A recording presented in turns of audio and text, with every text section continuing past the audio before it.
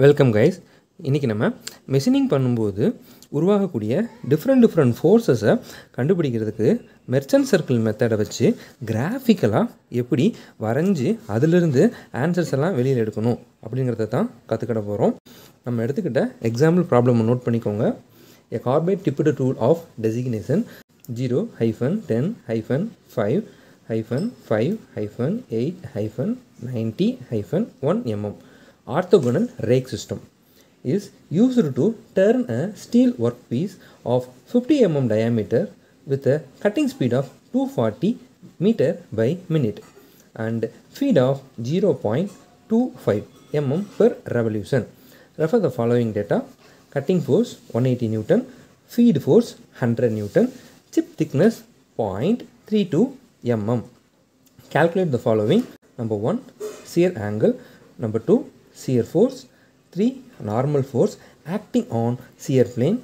Number 4, friction force. Number 5, coefficient of friction. Number 6, friction angle. Number 7, chip flow. இப்போ நம்ம கிவனை எடுத்து எழுதிக்கலாம் அந்த கொடுத்துருக்குற டெசிக்னேஷன் சிஸ்டம் வந்து டூலுடைய ஓஆர்எஸ் சிஸ்டமில் இருக்குது அதில் எப்பயுமே செகண்டாக கொடுத்துருக்குறாங்க இல்லையா அதுதான் என்ன அப்படின்னு கேட்டிங்கன்னா நமக்கு தேவையான ரேக் ஆங்கிள் ஆல்ஃபா அது வந்து டென் டிகிரி அடுத்து diameter of the work piece D கொடுத்துருக்குறாங்க ஃபிஃப்டி எம்எம் அடுத்து கட்டிங் வெலாசிட்டி கொடுத்துருக்குறாங்க ஆனால் எது எந்த யூனிட்டில் கட்டிங் வெலாசிட்டி கொடுத்துருக்குறாங்க எந்த யூனிட்டில் கொடுத்துருக்குறாங்க அப்படின்னு பார்த்தீங்கன்னா மீட்டர் பை மினிட்டில் கொடுத்துருக்குறாங்க. நம்ம அதை எம்எம் பை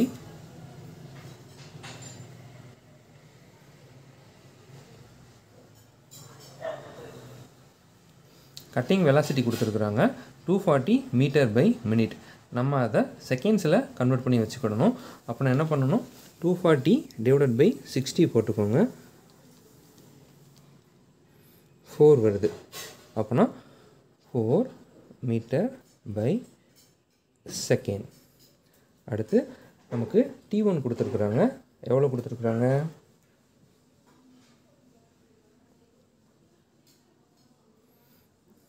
அடுத்து இந்த அடுத்து அன்கட் சிப் திக்னஸ் கொஷினில் எவ்வளோ கொடுத்துருக்குறாங்கன்னு பாருங்கள் அந்த வேல்யூ டைரெக்டாக கொடுக்கல. அப்படி கொடுக்காத ப்ராப்ளமுக்கெல்லாம் நம்ம என்ன பண்ணுவோம்? டி ஒன்னை ஃபீடு என்ன கொடுத்துருக்குறாங்களோ அதை தான் எடுத்துப்போம். ஃபீடு வந்து பாயிண்ட் டூ ஃபைவ் கொடுத்துருக்குறாங்க. அதுதான் இந்த சம்மை பொறுத்த மட்டும் T one that is point two five mm அடுத்து டி டூ எவ்வளோ கொடுத்துருக்குறாங்க? அப்படின்ட்டு செக் பண்ணி பாருங்கள் அது சிப் திக்னஸ் அப்படிங்கிற டேமில் நமக்கு கொடுத்துருக்குறாங்க. ஏன்னா இதுதான் ரிமூவ்டு சிப் திக்னஸ் ஸோ அதுதான் T two point three two mm கொடுத்துருக்குறாங்க. அடுத்து ரெண்டு ஃபோர்ஸ் கொடுத்துருக்குறாங்க. ஒன்று கட்டிங் ஃபோர்ஸ் கட்டிங் ஃபோர்ஸ் தான் எல்லா சம்லேயுமே எப்பயுமே பெரிய வேல்யூவாக இருக்கும் அப்படின்ட்டு நம்ம ஏற்கனவே சொல்லியிருக்கோம். அதை எஃப்சியை எடுத்துக்கோங்க. ஒன் எயிட்டி நியூட்டன் அடுத்து ஃபீட் ஃபோர்ஸ் கொடுத்துருக்குறாங்க. அது F of T hundred newton கொடுத்துருக்குறாங்க. அடுத்து எதெல்லாம் நம்ம கண்டுபிடிக்கணும் அப்படிங்கிறதையும் எடுத்து எழுதிக்கோங்க. டு ஃபைண்ட் ஃபஸ்ட்டு நம்ம கண்டுபிடிக்க வேண்டியது என்ன அப்படின்னு பார்த்தீங்கன்னா phi that is shear plane angle அதோடைய ஃபார்முலா உங்களுக்கு தெரியும். Phi is equal to tan inverse of R cos alpha divided by one minus R sine alpha அடுத்து number two F of S shear force கேட்டிருக்கிறாங்க. அதை நம்ம graphical மெத்தட்லேருந்து வரைஞ்சி இங்கே எழுதிக்கிடலாம் அதே போல் தேர்டு நம்ம எஃப் ஆஃப் என் கண்டுபிடிக்கணும். Shear force shear force acting along the normal plane அடுத்து ஃபோர்த்து வந்து ஃப்ரிக்ஷனல் ஃபோர்ஸ் எஃப் கண்டுபிடிக்கணும். ஃபிஃப்த்து மியூ கேட்டிருக்கிறாங்க. That is coefficient of friction அப்படின்ட்டு சொல்லுவோம். அடுத்து சிக்ஸ்த்து என்ன கேட்டிருக்கிறாங்கன்னா ஃப்ரிக்ஷன் ஆங்கிள் கேட்டிருக்கிறாங்க. ஒரு சில புக்கில் அதை பீட்டான்னு எடுத்துப்பாங்க நம்ம அதை டவ் அப்படின்ட்டு வச்சுக்கிறோம். லாஸ்ட்டாக நம்ம வெலாசிட்டி கண்டுபிடிக்க போகிறோம் okay so V of F that is chip flow velocity okay இதை வந்து வி ஆஃப் சி அப்படின்னு கூட ஒரு சில சம்மில் கேட்பாங்க. இந்த சம்மில் நமக்கு கிவனில் இருக்குது. அதனால் இதை வச்சு நம்ம வி ஆஃப் எஃப்பை கண்டுபிடிக்கணும். இந்த டேம்ஸ் எல்லாத்தையும் தான் நம்ம கண்டுபிடிக்கணும் அப்படின்ட்டு கொஷினில் சொல்லியிருக்கிறாங்க. இது எல்லாத்தையுமே நீங்கள் ஃபார்முலாவை மனப்பாடம் பண்ணியிருந்தீங்கன்னா அதில் கூட கண்டுபிடிச்சிக்கிடலாம். அப்படி இல்லைன்னா கிராஃபிக்கல் மெத்தட்லேருந்தும் நம்ம வரைஞ்சி எடுத்துக்கிடலாம். ஃபஸ்ட்டு நம்ம பையை கண்டுபிடிச்சிடலாம். ஏன்னா இந்த பை ஆன்சர் வந்து இங்கே சியர் ஃபோர்ஸ் கண்டுபிடிக்கும் போது நமக்கு தேவைப்படும். ஃபார்முலா எழுதிட்டீங்க. இதுக்குள்ளே வந்து ஆர் இருக்குது. ஸோ ஆரையும் first கண்டுபிடிச்சிருங்க. R is equal to T one by T two T one என்ன கொடுத்துருக்குறாங்க? Point two five divided by point three two that is zero point seven eight one அதுதான் ஆர் இப்போது இந்த ஃபார்முலாக்குள்ளே சப்ஸ்டியூட் பண்ணுங்கள் உங்களுக்கு என்னெல்லாம் தெரியுமோ அது எல்லாத்தையும். ஆர் வெளியே இங்கே கண்டுபிடிச்சிட்டோம். Point seven eight one into cos ten degree ப்ராக்கெட்டை close பண்ணிவிட்டு one minus zero point seven eight one sine of ten degree ப்ராக்கெட்டை close பண்ணிக்கோங்க. இப்போ இது எல்லாத்தையும் கால்குலேட்டரில் சப்ஸ்டியூட் பண்ணுங்கள் point seven eight one into cos ten ஒரு ஆன்சர் வந்துருச்சு. That is tan inverse of zero point seven six nine three அடுத்து இந்த கீழே இருக்கிற டேம் இப்போ கண்டுபிடிச்சிடலாம். அங்கே என்ன கொடுத்துருக்குறாங்க? ஒன் மைனஸ் ப்ராக்கெட் ஓப்பன் பண்ணிக்கோங்க. Point seven eight one sine of ten degree அப்புறம் ப்ராக்கெட்டை க்ளோஸ் பண்ணிக்கோங்க. That is point eight six four இப்போது இது எல்லாத்தையும் சப்ஸ்டியூட் பண்ணிங்கன்னா உங்களுக்கு டேன் இன்வெஸ்ட் போட்டால் பை கிடச்சிரும். ஸோ இது ரெண்டையும் ஃபஸ்ட்டு டிவைட் பண்ணிக்கோங்க. Point seven six nine three divided by point eight six four ஒரு வேல்யூ வந்துருச்சு. ஷிஃப்ட்டை அமுக்கி இங்கே இருக்கிற டேனை ப்ரெஸ் பண்ணிங்கன்னா டேன் இன்வெஸ்ட் வந்துடும் ஆல்ரெடி இந்த ஆன்சர் வந்து ஆன்ஸ் அப்படிங்கிறதுல ஸ்டோர் ஆகிருக்கும் அதனால் டேன் இன்னஸ் ஆஃப் ஆன்ஸ் போட்டு ஈக்குவல் கொடுத்தீங்கன்னா forty one point six eight வந்துருச்சு. இந்த டிகிரி பட்டனை ப்ரெஸ் பண்ணிங்கன்னா உங்களுக்கு எக்ஸாக்டான டிகிரி வேல்யூ வந்துடும் ஆன்சர் பார்த்தீங்கன்னா ஃபை வந்து forty one degree forty one minutes வந்திருக்குது. ஓகே இதை நோட் பண்ணி வச்சுக்கோங்க. இது நமக்கு தேவைப்படும். வரைகிறச்ச இப்போ நம்ம கிராஃபிக்கல் மெத்தடில் எல்லாத்தையும் கண்டுபிடிக்க ஆரம்பிச்சிருவோம். ஃபஸ்ட்டு எஃப்சி என்ன கொடுத்துருக்குறாங்க அப்படின்ட்டு பாருங்கள் cutting force horizontal cutting force வந்து ஒன் எயிட்டி நியூட்டன் கொடுத்துருக்குறாங்க. அப்போ நம்ம ஒன் எயிட்டி சென்டிமீட்டர் வரைய முடியாது. ஏன்னா சின்ன பேப்பராக தான் இருக்குது. அப்போ நம்ம ஏதாவது ஒரு ஸ்கேல் ரேஷியோ எடுத்துக்கிடணும். நான் என்ன எடுத்துக்கிட போகிறேன் அப்படின்னு பார்த்தீங்கன்னா thirty newton is equal to one centimetre அப்படின்னு சொல்லிட்டு ஒரு ஸ்கேல் எடுத்துக்கிறேன். அப்போனா ஒன் எயிட்டி நியூட்டன் எவ்வளோ சென்டிமீட்டர் வரும்? One eighty divided by thirty போட்டிங்கன்னா சிக்ஸ் வருது. ஓகே இப்போ இதை நம்ம சிக்ஸ் சென்டிமீட்டருக்கு வரையணும். அதே போல் எஃப் ஆஃப் டி வந்து ஹண்ட்ரட் கொடுத்துருக்குறாங்க. ஹண்ட்ரட் டிவைடட் பை தேர்ட்டி போட்டிங்கன்னா அது three point three three centimetre வேல்யூவுக்கு நம்ம வரையணும். ஓகே இப்போ நம்ம ஸ்கேலில் சிக்ஸ் சென்டிமீட்டருக்கு ஹரிசாண்டலாக ஒரு லைன் போட்டுக்கோங்க. இப்போ நம்ம எஃப்சி சிக்ஸ் சென்டிமீட்டருக்கு ஒரு லைன் வரைஞ்சி அதில் ரெப்ரசன்ட் பண்ணிக்கிடலாம் சின்னதாக ஒரு டாட் வச்சுக்கிறேன். அந்த டாட்டில் இருந்து ஹரிசாண்டலாக லெஃப்ட் சைடில் ஒரு வெக்டார் போட்டுக்கிறோம். ஓகே ஏன்னா இதெல்லாம் வெக்டார் மேக்னிடியூடும் இருக்குது டைரெக்ஷனும் இருக்குது. இதற்கு பேர் எஃப் ஆஃப் சி இந்த டைரக்ஷன் அடுத்து எஃப் ஆஃப் டி எப்படி இருக்கும்? இந்த எஃப் ஆஃப் சிக்கு வெர்டிக்கலாக டவுன்வேர்ட்ஸில் இருக்கும். டவுன்வேர்ட்ஸில் த்ரீ பாயிண்ட் த்ரீ த்ரீ சென்டிமீட்டருக்கு ஒரு லைன் போட்டுக்கோங்க. ஒன் டூ த்ரீ இது எஃப் ஆஃப் டி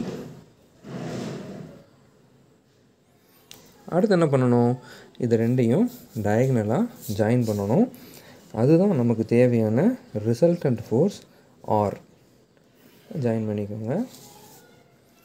அதுதான் ரிசல்டன்ட் ஃபோர்ஸ் ஆர் இப்போ நெக்ஸ்ட்டு ஆருடைய சென்டர் பாயிண்ட்டை கண்டுபிடிக்கணும்.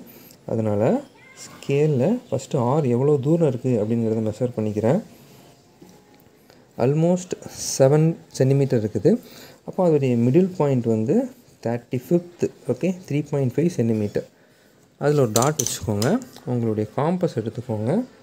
அந்த டாட்டில் இருந்து அந்த சென்டர் பாயிண்ட் ஆருடைய சென்டர் பாயிண்டில் இருந்து எஃப்எஃப்சியுடைய ஸ்டார்டிங் பாயிண்ட்டையோ அல்லது எஃப்ஆஃப்டியுடைய ஆஃப் எண்டிங் பாயிண்ட்டையோ எடுத்திங்கன்னா கரெக்டாக அது எஃப்ஆஃப்சியுடைய இந்த எண்டிங் பாயிண்ட் வரைக்கும் வரும். ஓகே இதை தான் வந்து மெர்ச்சன்ட் வந்து நமக்கு கண்டுபிடிச்சி கொடுத்தாரு. இப்போ நம்ம மெர்ச்சன்ட் சர்க்கிளை ட்ரா பண்ணுறோம் அடுத்து இப்போ இந்த ரேக் டென் டிகிரி இருக்குது இல்லையா? அதை இதில் ட்ரா பண்ண போகிறோம் ரேக் எங்கே வரும் அப்படின்ட்டு உங்களுக்கு தெரியும். டூலும் சிப்பும் இன்டர்ஃபேஸ் ஆகும் இல்லையா? அந்த இடத்துல. நல்லா பாருங்கள் நான் என்ன பண்ணுறேன்ட்டு இந்த பாயிண்ட்டுக்கு பெர்பண்டிகுலராக ஒரு லைன் வரைய போகிறேன் இந்த லைன் அதில் மெர்ச் பண்ணிக்கிட்டேன். ரைட் ஒரு தின் லைன் வரைஞ்சிக்கோங்க. டார்க்காக வரையாதீங்க. இப்போது உங்கள் ப்ரொடக்டர் எடுத்துக்கோங்க. இந்த பிளேஸில் கரெக்டாக வைங்க. நீங்கள் ரைட்டில் ஓடுறமோ லெஃப்ட்டில் ஓடுறமோ மேலேயோ கீழேயோ தள்ளி வச்சிட்டிங்கன்னா கண்டிப்பாக உங்களுக்கு ஆன்சரில் ரொம்ப பெரிய எரர் வரும். Okay thirty two forty newton வந்து மாறி மாறி வரும். உங்களுக்கும் கரெக்ட் ஆன்சர் இருக்கும். அதனால் கரெக்டாக ப்ளேஸ் பண்ணுங்கள் ஓகே அடுத்து ஆங்கிள் டென் டிகிரி கொடுத்துருக்குறாங்க. இங்கேருந்து இந்த பக்கம் மெஷர் பண்ணுங்கள் இங்கேருந்து டென் டிகிரி ரைட் அடுத்து அதை ரெண்டையும் கனெக்ட் பண்ணுங்கள் அதை சர்க்கிள்குள்ளே எக்ஸ்டெண்ட் பண்ணி விட்டிங்கன்னா ஒரு இடத்துல இன்டர்செக்ட் ஆகும். ஸோ திஸ் லைன் என்ன அப்படின்ட்டு பார்த்தீங்கன்னா ஃப்ரிக்ஷனல் ஃபோர்ஸுக்கான வேல்யூ இது மட்டும் டார்க்காக போட்டுக்கோங்க. இதுதான் நமக்கு தேவையான கேபிட்டல் லெட்டர் எஃப் அடுத்து இந்த இடத்துல அது இன்டர்செக்ட் ஆகுது இல்லையாம்மா? இந்த பாயிண்ட்டையும் ஆருடைய நோஸ் பாயிண்ட்டையும் கனெக்ட் பண்ணிங்கன்னா அதுதான் நமக்கு தேவையான N capital letter N join பண்ணிக்கிறேன். இதுதான் கேபிட்டல் லெட்டர் என் அடுத்து இந்த பை ஃபார்ட்டி ஒன் டிகிரி வந்திருக்கு. அதையும் ட்ரா பண்ணிட்டோன்னா நமக்கு தேவையான சியர் ஃபோர்ஸ் வேல்யூ கிடச்சிரும். கரெக்டாக ப்ராடக்ட் அலைன்மெண்ட் பண்ணதுக்கு அடுத்தாப்பில் வெர்டிக்கல்லையும் பார்த்துக்கணும் ஹரிசன்டலையும் நீங்கள் பார்த்துக்கணும். ஃபார்ட்டி ஒன் டிகிரி மார்க் பண்ணுறீங்க ten twenty thirty forty forty one degree forty one days வேறு இருக்குது. அப்போ ஆல்மோஸ்ட்டு ஃபார்ட்டி டூ கிட்டத்தில் வச்சாச்சு. இப்போ அந்த பாயிண்ட்டை சர்க்கிளில் இது கூட ஜாயின் பண்ணுங்கள் இப்போ இந்த பாயிண்ட்டை இந்த பிளேஸ் கூட ஜாயின் பண்ணுங்கள் எஸ் சர்க்கிள் இன்டர்செக்ட் ஆகுது இல்லையா? அங்கே வரைக்கும் நோட் பண்ணால் போதுமானது. அதற்கு பேர் வச்சுருங்க எஃப் ஆஃப் எஸ் அடுத்து இந்த பாயிண்ட்டையும் இதையும் ஜாயின் பண்ணிங்கன்னா அதுதான் எஃப் ஆஃப் என் அவ்வளோதான் இப்போ எங்கெங்கே ஆங்கிள் மார்க் பண்ணணுமோ அதெல்லாம் மார்க் பண்ணி காட்டிக்கோங்க. இப்போ நம்ம இங்கே மெஷர் பண்ணுறோம் இங்கே போய் மார்க் பண்ணுறோம் ஓகே இப்போ எஃப் ஆஃப் எஸ்ஸை ஃபஸ்ட்டு மெஷர் பண்ணுங்கள் எவ்வளோ சென்டிமீட்டர் வருது அப்படின்ட்டு மெஷர் பண்ணுறீங்க two two point three two point four okay so two point four centimetre இருக்குது. அப்போது ஆல்ரெடி நம்ம ஒன் சென்டிமீட்டர்னால் தேர்ட்டி நியூட்டன் எடுத்துக்கிட்டோம்.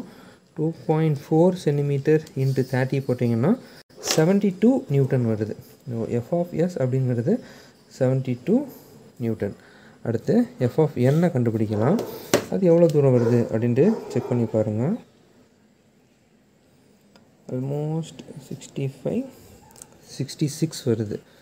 ஓகே அப்போது six point six into thirty போட்டிங்கன்னா ஒன் நைன்ட்டி எயிட் நியூட்டன் வருது. அடுத்து எஃப்பை கண்டுபிடிக்கலாம். Frictional force F four point one centimetre வருது. Four point one into thirty போடுங்க. ஒன் டுவெண்ட்டி த்ரீ நியூட்டன் வருது. அடுத்து மியூ கேட்டிருக்குறாங்க. மியூ அப்படின்னா F by N okay so that is nothing but coefficient of friction அதோடைய வேல்யூ கண்டுபிடிக்கணும். அப்போது என் வேணும் அதில். அப்போ என் வேணும்னா இங்கே மெஷர் பண்ணுங்க. Five point five five point six அப்போ ஃபைவ் பாயிண்ட் சிக்ஸ் அப்படின்னா ஃபைவ் பாயிண்ட் சிக்ஸ் அப்படின்னா அது ஒன் சிக்ஸ்டி எயிட் நியூட்டன் வருது. Okay one sixty eight newton F வந்து ஒன் டுவெண்ட்டி த்ரீ நியூட்டன் வருது. One twenty three divided by ans that is that is equal to 0.732 அடுத்து tau கேட்டிருக்கிறாங்க. Friction angle tau அது என்ன பண்ணணும்னா இந்த இடத்துக்குள்ளே இருக்கும். ஓகே ஸோ ஜஸ்ட்டு உங்கள் ப்ராடக்ட் எடுத்துகிட்டு வாங்க. இந்த இடத்துல வச்சு இந்த ஆங்கிள் மெஷர் பண்ணுங்கள் ten twenty thirty thirty five okay thirty five thirty six கிட்ட இருக்குது. ஸோ டவ் அப்படிங்கிறது தேர்ட்டி சிக்ஸ் டிகிரி வந்திருக்குது. அடுத்து விஎஃப் கேட்டிருக்கிறாங்க. விஎஃப் விஎஃப் வேணும்னா நம்ம அந்த ஃபார்முலாவில் தான் போட்டு கண்டுபிடிக்கணும். That is VC into R R is equal to VF by VC அப்படின்ட்டு பார்த்துருந்துருக்கோம் இப்போ இதில் நீங்கள் சப்ஸ்டியூட் பண்ணுங்கள் விசி எவ்வளோ? Four metre by second into R வந்து 0.781 4 into point seven eight one. That is three point one two four meter per second அவ்வளோதான் எல்லா ஆன்சரும் வந்துருச்சு. நீங்கள் இதோடைய ஃபார்முலாஸ் எல்லாம் மனப்பாடம் பண்ணியிருந்தீங்கன்னா ஒரு தடவை சும்மா ட்ரை பண்ணி பாருங்கள் கிட்டத்தட்ட இந்த ஆன்சர் ஓரளவுக்கு நீரர் பையில் வந்துடும் ஒரு டென் நியூட்டன் அதிகபட்சமாக டிஃப்ரென்ஸ் வரலாம். அதுக்கும் மேலே டிஃப்ரென்ஸ் வந்துச்சுன்னா நம்ம கிராஃபிக்கல் மெத்தடில் எங்கேயாவது சின்ன சின்ன தப்பு பண்ணியிருந்திருப்போம். Okay thank you thanks for learning here you can